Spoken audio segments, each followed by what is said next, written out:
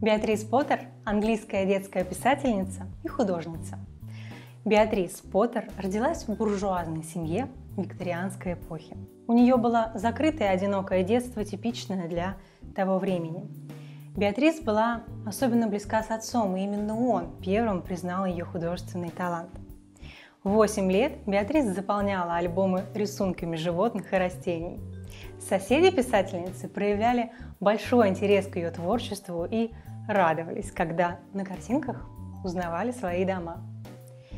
Местные сценки легли в основу сказок о зверушках и были выполнены так замечательно, что со всех концов света и до сих пор приезжают люди посмотреть на места, изображенные в ее книгах.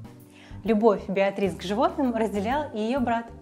Дети часами наблюдали и делали наброски домашних животных, которые жили в их учебной комнате. Беатрис провела большую часть своей юности, самостоятельно изучая живопись и рисуя эскизы. Как большинство взрослых дочерей богатых людей, она не работала, и у нее было достаточно времени, чтобы заниматься и живописью, и естественными науками. К своим 20 годам Беатрис превратилась в талантливого натуралиста. В 1897 году она написала научную работу о том, что лишайники состоят из двух организмов грибов и водорослей. И с помощью дяди, известного химика, представила ее обществу Линнея. Но так как туда входили исключительно мужчины, к работе Беатрис не отнеслись серьезно, и ее теории были отклонены. Вероятно, это неуважение побудило Беатрис сосредоточиться больше на рисовании и живописи. Путь Беатрис как писательницы и художницы начался с создания сказки о кролике Питере. Кролик Питер родился в письме, которое она написала сыну своей бывшей гувернантки. После того, как книга «Повесть о кролике Питере» была отвергнута шестью изданиями, Беатрис решила издать ее самостоятельно.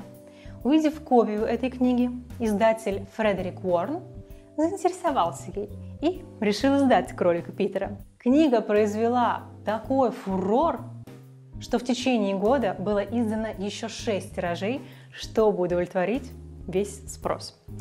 Этот успех ознаменовал начало отношений между Беатрис Поттер и издательством Фредерика Уорна.